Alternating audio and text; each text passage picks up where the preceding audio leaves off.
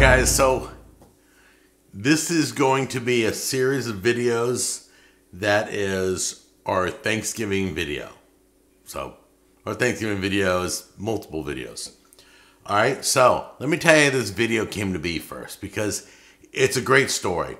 So, I'm talking to the owner of Harvest Right, uh, the freeze drying machine company, and I'm like, you know what?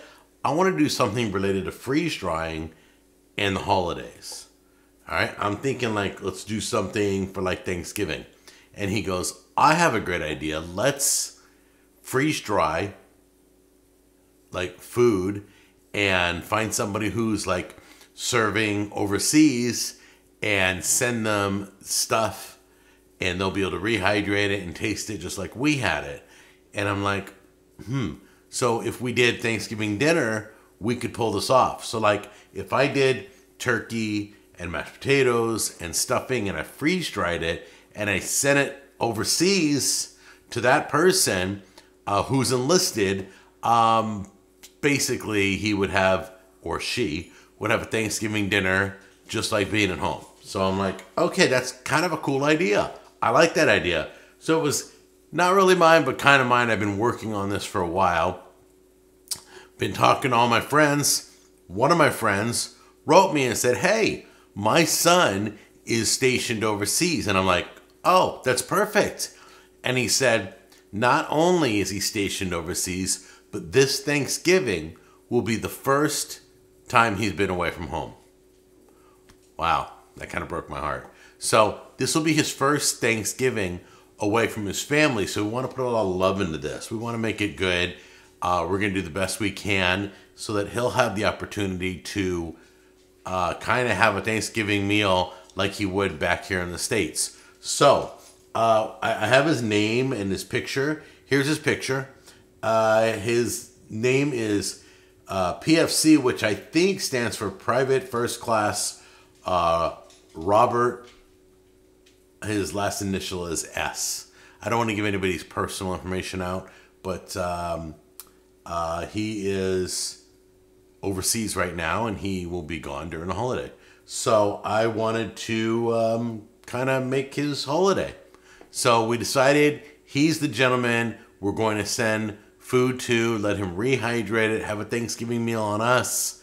I'm going to cook everything. Um, going to do the best I can, and you'll get to follow the steps uh, through each of the videos. So today we're going to be doing the mashed potatoes and the gravy in this video.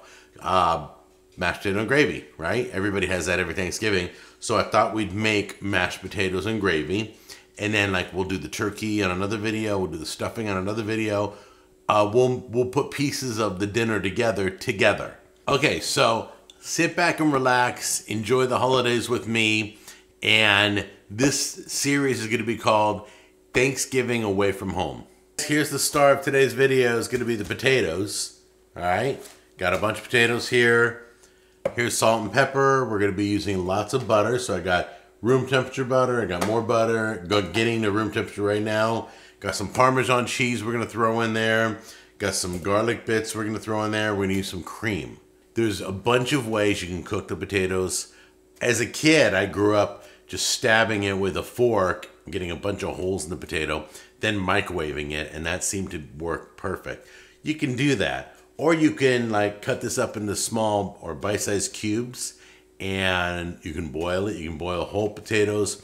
I don't like boiling any food in water. I just don't do it because it dilutes it. The um, the vitamins go into the water and get dumped. I don't like that. So I'm going to cook this in the pressure cooker and I'm going to cook it for about eight minutes and it should be fork tender.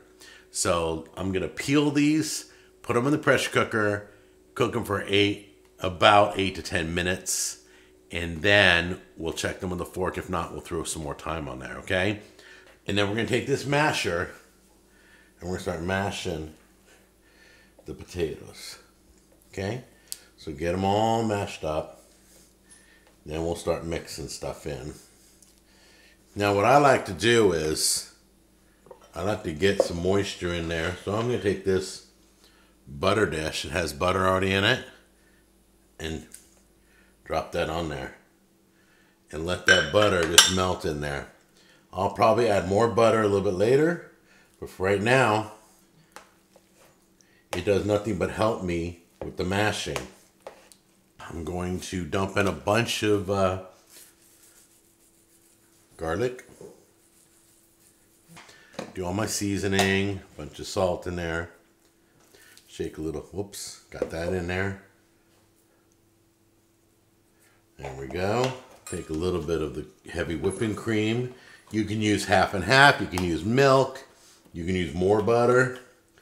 You can use heavy whipping cream, which I like to use heavy whipping cream. And get this all mixed up. Put a little Parmesan cheese in there.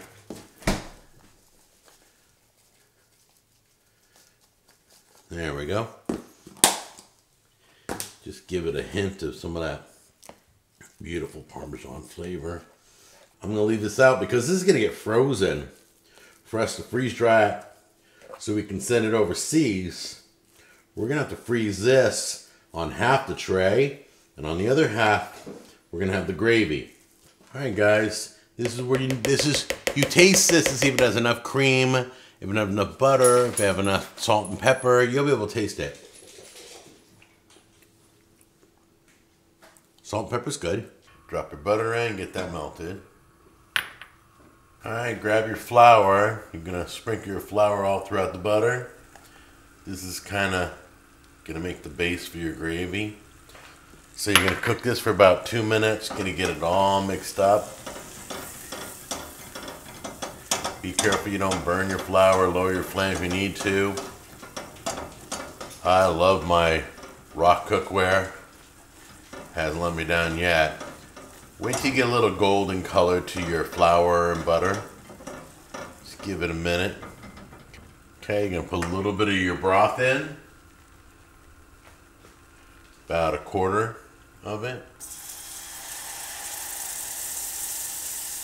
Wow, that just absorbed it all. Get that where you want it. a little bit more broth then. You're gonna basically cook in your broth little at a time.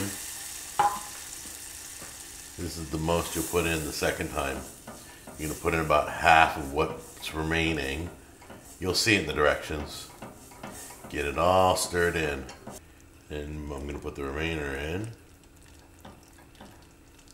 Let that cook for a few minutes together. Looks a little thin, so go ahead and just get that going. It's looking beautiful. Don't need any drippings for this one. You can, if you have drippings, apply them, but we're going to be applying the Worcestershire and the pepper for our taste and the cream. So put the Worcestershire in. There we go. And we're going to drop in the pepper. There you go. And we're going to mix it all in. Let that all cook together. Looks beautiful. Could you imagine some turkey drippings in there from your turkey after carving it, making this up? making this the last at the very end. It only takes a few minutes to make, as you can see. Alright guys, we're going to give this a try right now. Just to dunk a little bit in there. Here we go.